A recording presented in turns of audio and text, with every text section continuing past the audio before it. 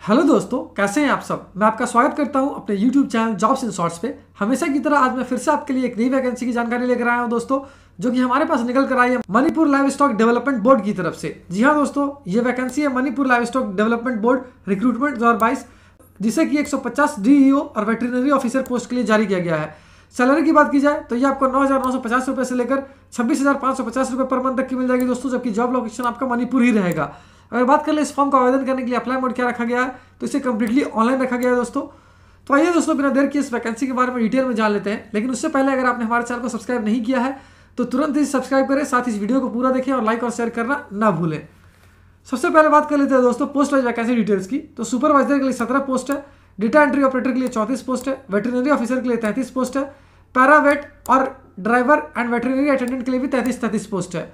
अगर बात कर ले एजुकेशनल क्वालिफिकेशन की तो जिन कैंडिडेट से क्लास टेंथ पास कर रखा है या फिर ट्वेल्थ कर रखा है, किसी भी रिकॉग्नाइज बोर्ड या यूनिवर्सिटी से, वो सारे कैंडिडेट्स के लिए आवेदन कर पाएँगे। अगर पोस्ट वाइज एजुकेशनल क्वालिफिकेशन की बात की जाए तो सुपरवाइजर और डेटा एंट्री ऑपरेटर के लिए जिन कैंडिडेट से क्लास ट्वेल्थ पास कर रखा है, वो सारे कैंडिडेट्स के लिए आवेदन कर पाएँगे। जबकि वेटरनरी ऑफिसर के लिए एज पर नॉर्म सी वैकेंसी को फिल किया जाएगा दोस्तों। अगर पैरावेट और ड्राइवर एंड वेटरनरी अटेंडेंट की बात की जाए तो जिन कैंडिडेट से क्लास टेंथ या ट्वेल्थ पास कर रखा है, वो सारे कैंडिडेट्स के लिए आवेदन कर पाएँगे।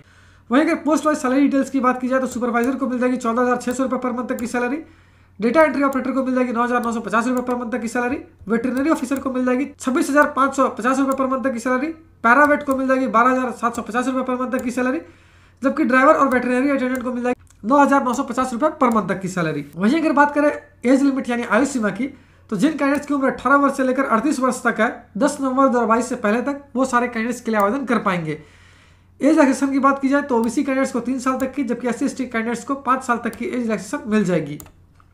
वहीं बात करें एप्लीकेशन फ़ी की तो जनरल और ओबीसी कैंडिडेट्स को पे करने होंगे आठ सौ रुपये जबकि एस सी कैंडिडेट्स को पे करेंगे पाँच सौ रुपये वहीं पीडब्ल्यूडी कैंडिडेट्स के लिए कोई भी आवेदन शुल्क नहीं रखा गया है दोस्तों, उनके लिए ये फॉर्म बिल्कुल फ्री ऑफ़ कॉस्ट है। जबकि अगर मोड ऑफ़ पेमेंट की बात करें तो इसे कम्प्लीटली ऑनलाइन रखा गया है। सिलेक्शन प्रोसेस रिटर्न टेस्ट और इंटरव्यू पर ही बेस्ड होगा दोस्तों। और अगर अंत में बात कर लेते हैं इंपॉर्टेंट डेट्स की तो ये फॉर्म भरने की प्रक्रिया 17 नवंबर दो से स्टार्ट होगी, जो कि 9 दिसंबर दो तक चलेगी।